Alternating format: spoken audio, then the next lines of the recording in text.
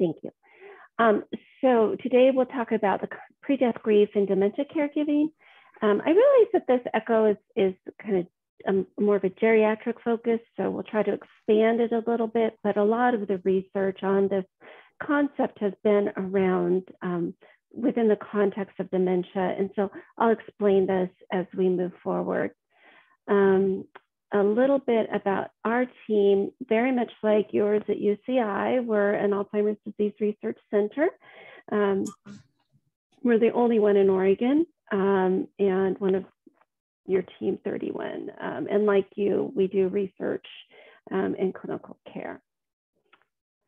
So today I'd like to talk a bit about what, you know, what exactly is pre-death grief and discuss why it's important, uh, discuss, and then discuss clinic-based strategies to, to help your team. Um, I think um, one of the videos I watched was with Dr. Terry Harvath, who is um, one of my colleagues and actually my mentor. And she had made a comment in her talk about, you know, how can we make the information we provide to you operational so it, it, you can do something with it.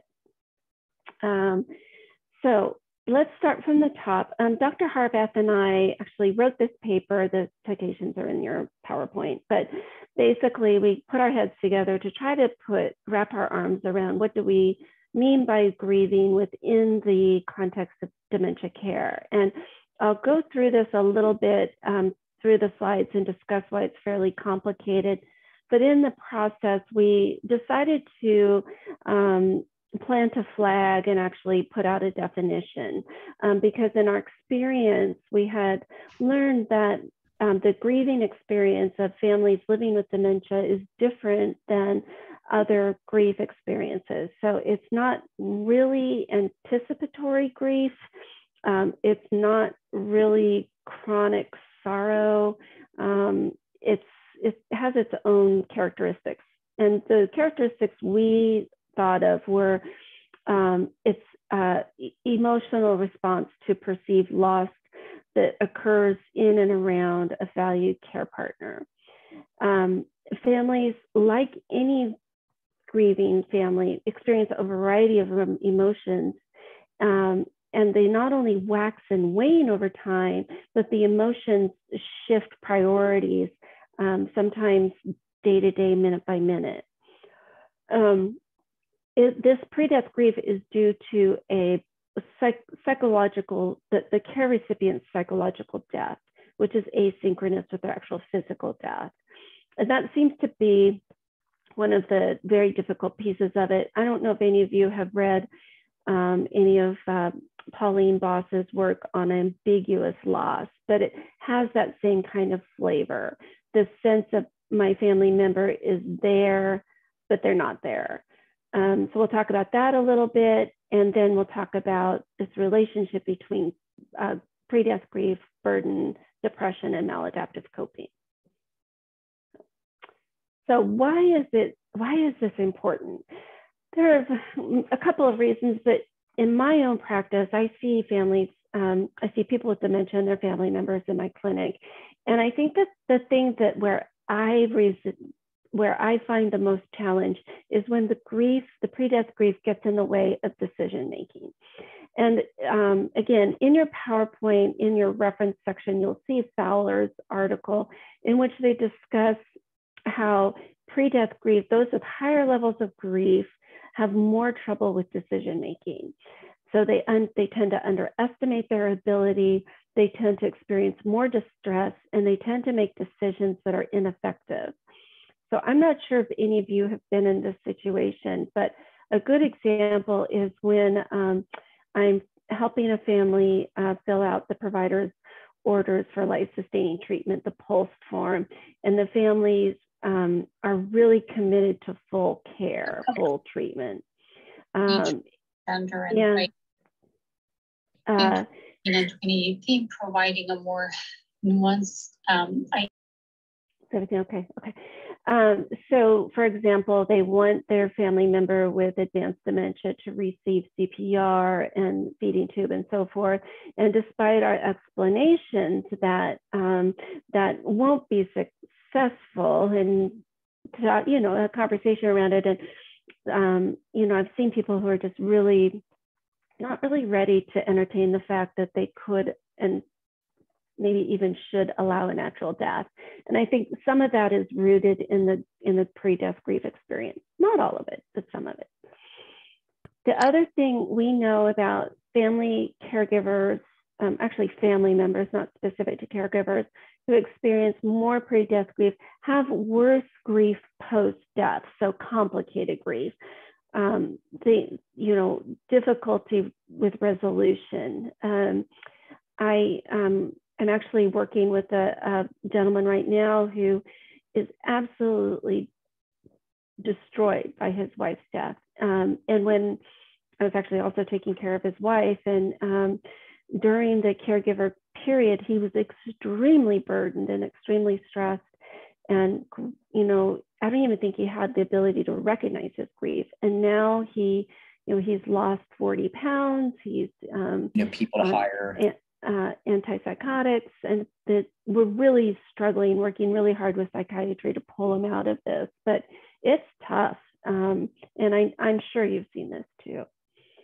Know, and not not shockingly, um, pre-death grief is associated with more burden, and we also know that people who experience pre-death grief, um, there seems to be some overlap with depression.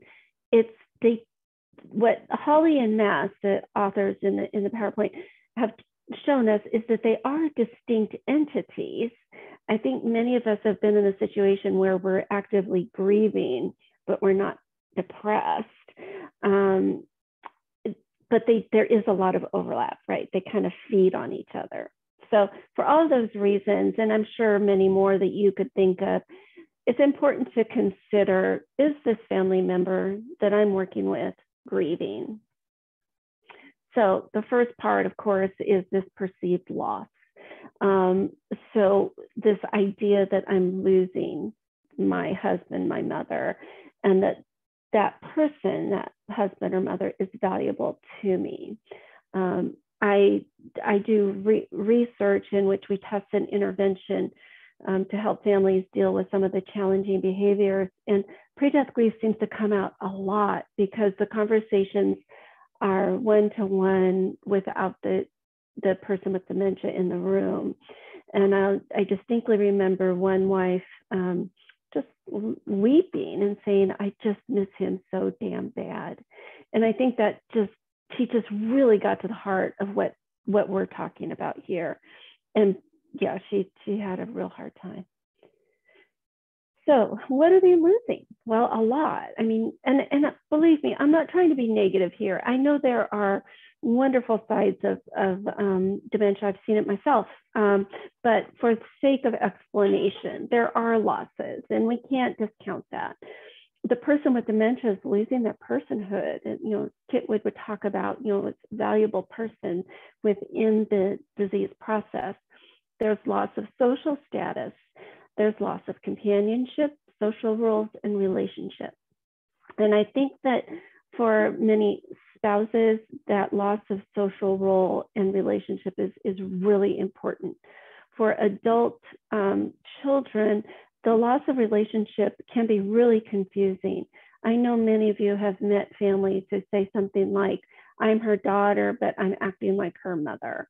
And that that loss of a mother, even before the mother has passed on or died, is, is tricky.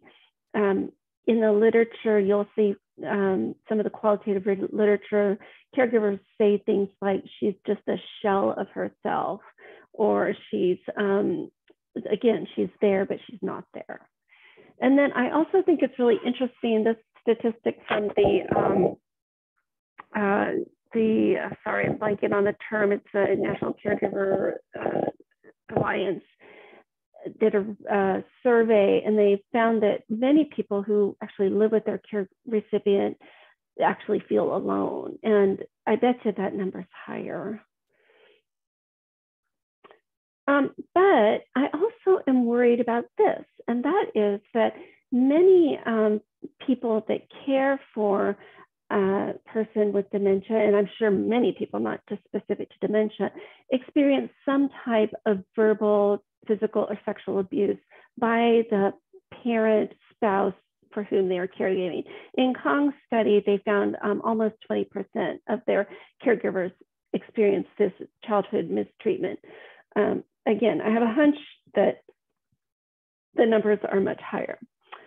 So for that reason, I'm extremely careful to avoid the term loved one. You'll see this oftentimes um, um, on many like advocacy websites or in papers or in manuscripts. They talk about the person with dementia as the loved one. And I know you have, and I have too, not everybody loves the person they care for. About 60% of caregivers, mostly women, um, did not choose to be caregivers. They just, the family assumed they would, or there's nobody else. So not only do they, do they have this possible sense of entrapment, they also may not really love this person, or they may love them, but it's a really complicated feeling. So um, I would beg you to avoid the word loved one. Um, we don't want to pile guilt on these families. Um, if they're already providing the care, terrific. They can tell us about how they feel, but I usually just say things like your mother, your father, your spouse, your family member with dementia.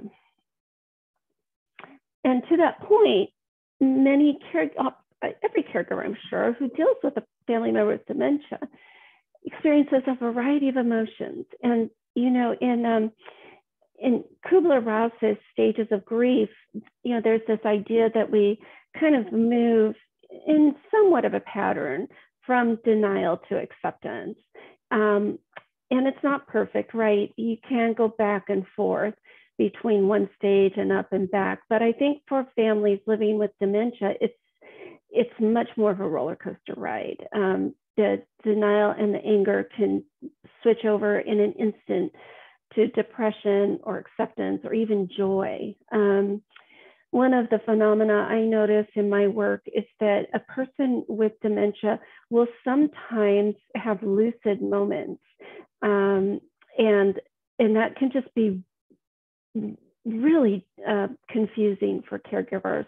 And by lucid, I mean not just lucid, I mean kind of back to their own, own selves. So in one qualitative paper, one of the caregivers talked about you know, she said she came alive again. She was herself again. It was amazing. And so, and so the caregivers are like, yeah, I saw my mom again. And if I, if I knew what it was that made that happen, I would do it all the time, but they don't know what it is. And so it's, it's just very confusing. And so for that reason, I think that, you know, the sorrow, the anger, the yearning just wax and wane over the course of a dementing disease. Um, one paper found that people start to experience pre-death grief with the diagnosis, and some people, um, you know, it doesn't really present itself again until later in the disease process. For others, it's kind of chronically throughout the disease process. Um, we know that there are certain things that contribute to pre-death grief. Obviously, the sense that the person is is you're losing them psychologically, but physically they can't actually be quite healthy. And then the very, very long disease trajectory, um, especially with Alzheimer's disease. Um, of course, with other disease processes like frontotemporal dementia, that disease process can be fairly short, maybe five years. Um, but for somebody with Alzheimer's disease, it can be five years, 10 years, 15 years. Um, I'm working with a family now who um, the uh, the wife had uh, you know three years ago had lost a substantial amount of weight, could no longer feed herself. Thought the only thing that she could do was walk. Um, and so she would pace the house most of the day. And so we had a hospice evaluation, and lo and behold, she wasn't eligible. Um, but I thought, you know, another six months or so, she'll be eligible. So now, um, three years later, um, she's finally eligible. And I think, you know, I've learned to be very careful about prognostication because I, I, I just can't seem to get it right. It's very tricky. But again, the disease process can be really long. And you never know, like, when is it going to end? And I'll talk about that in a minute. Um, communication is often compromised between the person with dementia and the family caregiver. It's nobody's fault. It's just that, you know, for um, some dementias in particular, um, such as primary progressive aphasia, the, um, they lose the ability to communicate fairly quickly. And then, of course, changes in roles and relationships. So now I'd like to take a couple minutes to talk about things you can do as a clinician to smooth the path for these caregivers. So the first is measure and inform. Um, this is a, a, measure that I like, the Marwit Meuser Caregiver Grief Index, and it um, it measures three parts of, of grief: the burden, uh, heartfelt sadness and longing, and worry, and that feeling of being really isolated. You could give this to your family members while they're in the waiting room or while they're waiting in, in the room for you, and they can just go through and, and uh, mark how they're feeling, and then you can score them and see where they are. Um, what uh, Tom Meuser has told us is that if the score is very low, it's either that the family is doing exceptionally well or perhaps they're in a state of denial. And of course, the higher they get, the more concerned one should be. Um, this is the reference for this paper. The authors actually put the whole thing in the paper so you can just use it. And um, there's actually been a fair amount of research on this measure, both um, its validity and also uh, testing it in several different languages. So um, I, I think it really gets to the heart of what we're talking about. And then once you have the score, I think it's helpful to inform caregivers what's going on what I've noticed in my work is actually just doing the assessment kind of um, increases their awareness of what's going on with them. Many caregivers don't know that they're grieving. They don't understand that they're grieving. And when we actually name it for them, it has it has great validity for them that it really is very meaningful. Like, oh yeah, that's that's exactly what we're talking about. So it's it's validating, I think. Of course, you have to be careful, right? Um, because if you're in a busy clinic and you've got, you know, four people waiting, it'll be tricky to deal with somebody who just really finally realizes they're actively grieving.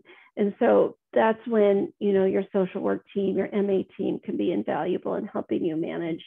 Um, and of course, if it doesn't work that day, do it another day.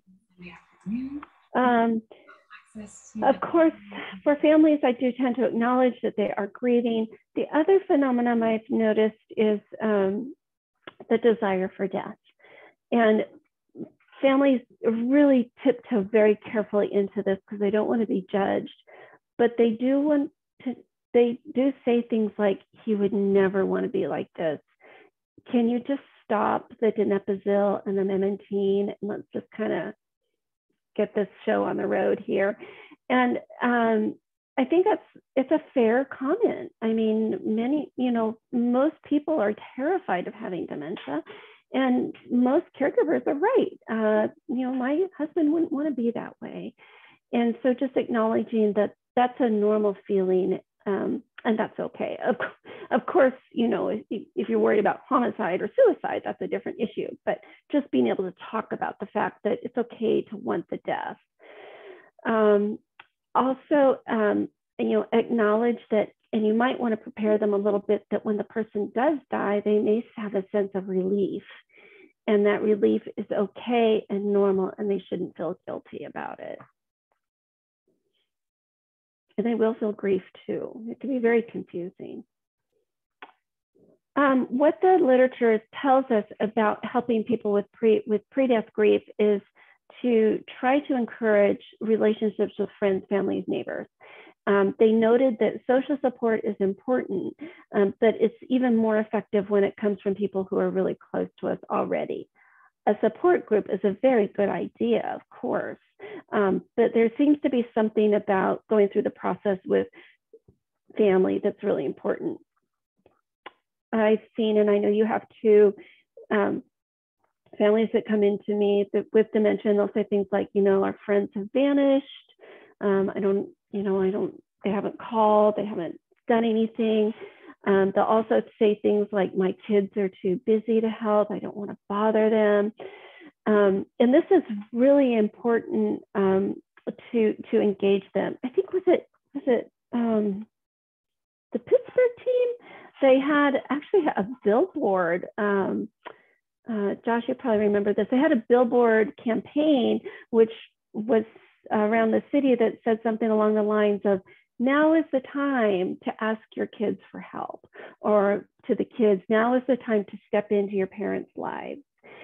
Because what we know is that when families become engaged, it offers them an opportunity to develop and discover more meaning within, within themselves. For the daughter who's super, super busy and has two kids and can't make time for dad, um, she may find that making a lasagna once a month gives her a sense of engaging with the with her dad in a way that she hadn't before, and she may want to do more. So, by what I tell the families I work with is, when you say your kids are too busy and you don't engage them, you're depriving them of an opportunity to deepen their life experience.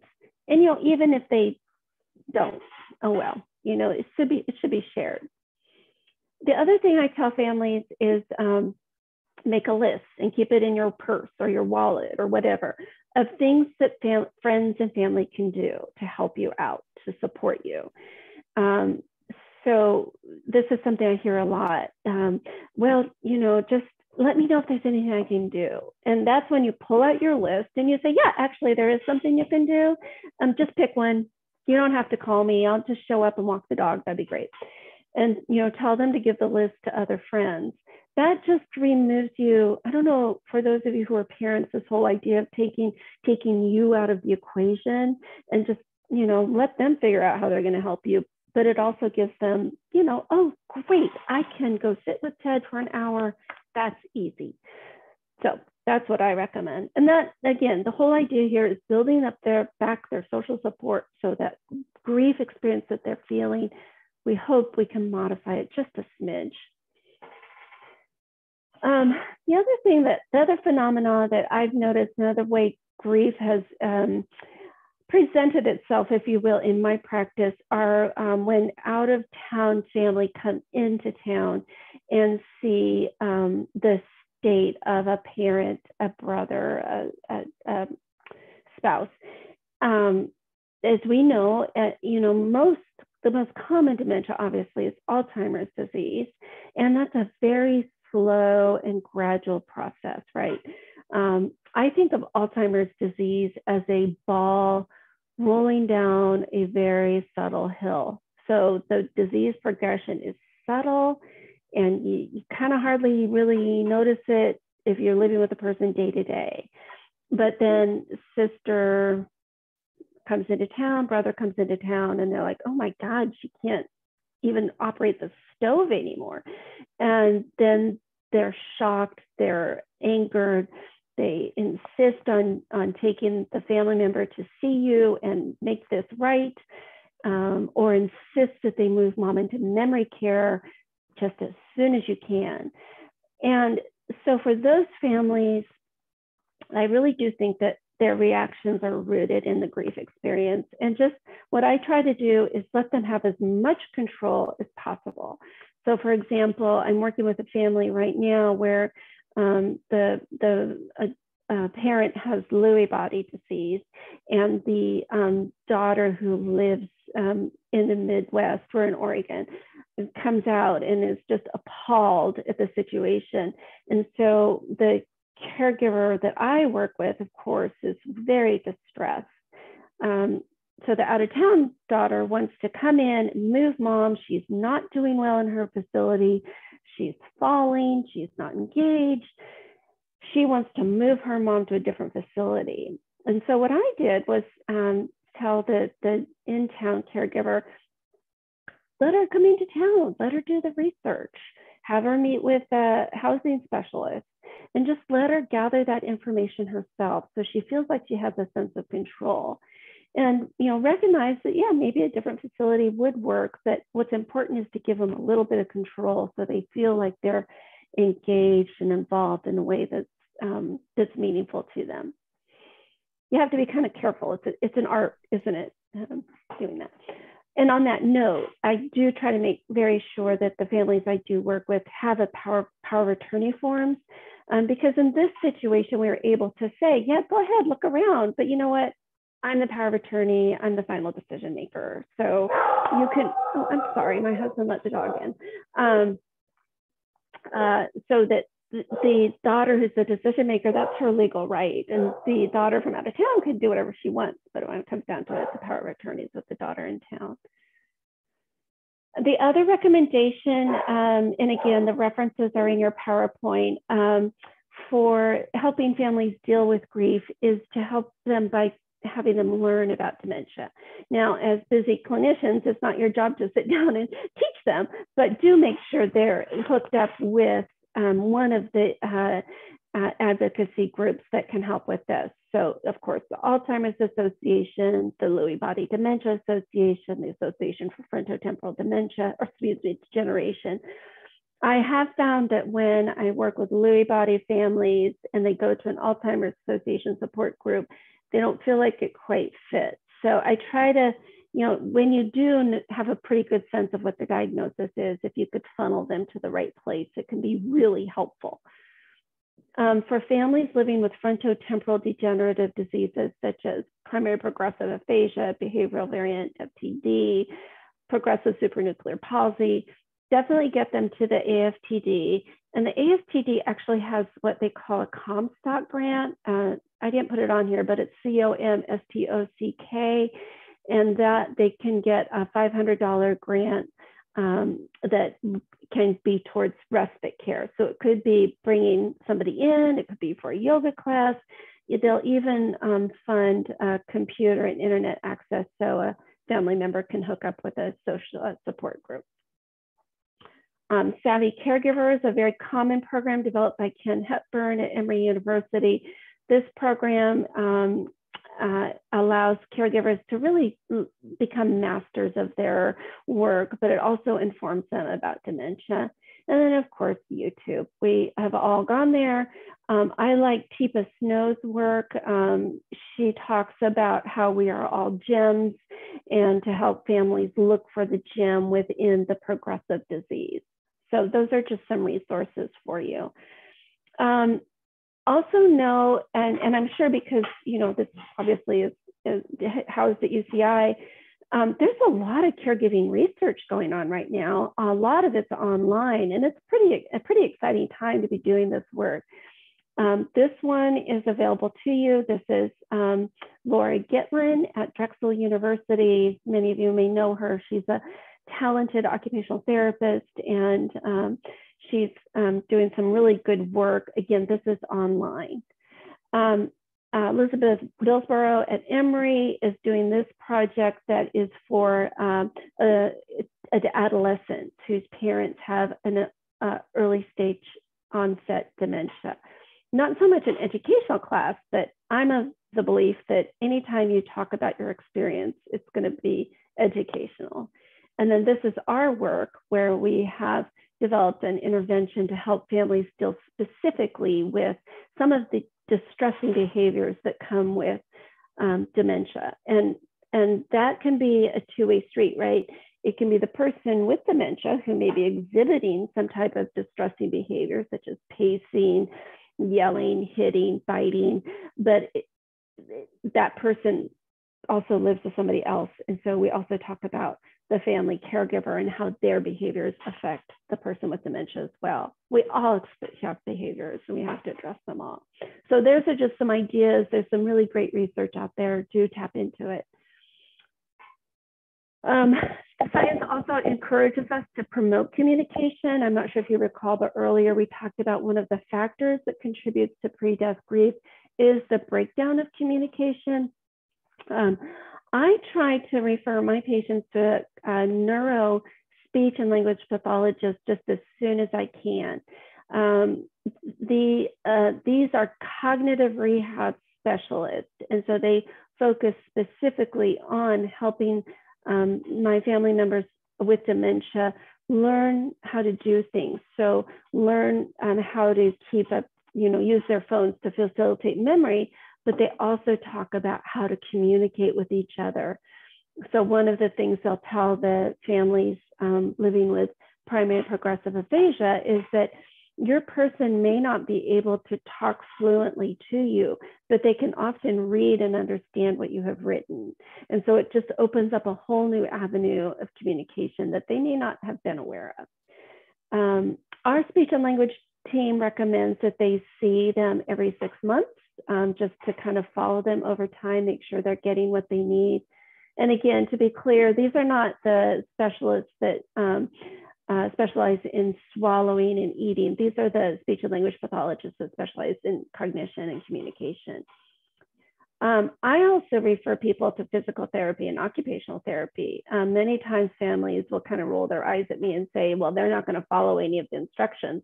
But a good physical therapist or an occupational therapist will include the family and help them feel a sense of engagement and um, and mastery, I think is the word I'm looking for. And then I always make sure that if the family has any questions about legal issues or they don't have their power of attorney, make sure we get that and refer to legal services if needed. Um, I know you all do this, so I apologize for the redundancy, but um, do um, refer to hospice just as soon as you can. Again, if, if they're not eligible, at least perhaps they can at least meet the hospice agency staff. Um, in my world, it seems to be that things kind of tick along for a long period of time and then suddenly they need hospice like tomorrow. And so if they already have that relationship with hospice, it makes that transition much easier. And the nice thing about hospice, of course, is that they will check in on the person, the, the family caregiver six months after death. So try to inter, um, intervene uh, in that grief process after death. Okay, so in summary, I hope that you know we've um, helped you understand the grief if you haven't already and recognize that it's a normal piece of caregiving, but also as a, a part of caregiving that can be quite taxing. And hopefully, through um, promoting engagement and communication, families can navigate this uh, path um, with a little bit more grace and compassion. Um, so, thank you so much for your time. This is my email. Um, feel free to email me if you have questions or thoughts or comments.